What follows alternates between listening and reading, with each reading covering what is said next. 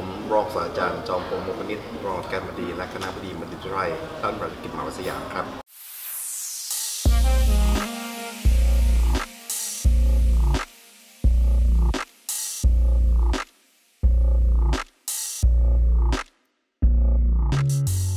ก็เป็นหลักสูตรที่มีความเฉพาะเจาะจงสำหรับผู้ที่ต้องการขยายธุรกิจที่เป็นดิจิทัลและผู้ที่ต้องการที่จะมีคู่ค้าใหม่ ๆ หรือมีแนวคิดใหม่ ๆ ที่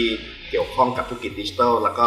ประเทศจีน หลักสูตรนี้นะครับถือว่าเป็นหลักสูตรที่มีความพิเศษ เพราะว่าจะมีแนวคิดใหม่ๆ DNA ของผู้บริหารในบริษัทหลักของประเทศจีน รวมถึงจะมีวิทยากรเนี่ยที่เฉพาะเจาะจงที่ให้ความรู้แล้วก็ทำเวิร์กช็อปในการพัฒนาธุรกิจให้เป็นธุรกิจที่มีการขยายเครือข่าย ในประเทศจีนก็ดี ในโลกดิจิทัลก็ดี ซึ่งผมคิดว่าณวันนี้ธุรกิจในโลกดิจิทัลมีการขยายต่อเนื่อง ก็คนจำนวนมากกว่าครึ่งหนึ่งของทั้งโลก ณ วันนี้อยู่ในโลกดิจิทัลหมดแล้ว รวมถึงคนจีนอีกเป็นพันล้านคน เพราะฉะนั้นการที่เข้ามาเรียนหลักสูตรนี้ถือว่าเป็นการขยายโอกาส เป็นการเปิดโอกาสให้กับตัวเอง ในการที่สามารถที่จะ cover กลุ่มลูกค้า แล้วก็กลุ่มคู่ค้า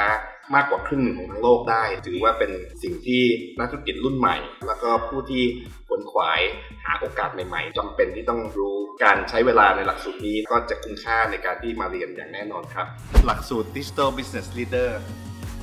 มาเรียนกันเยอะๆนะครับ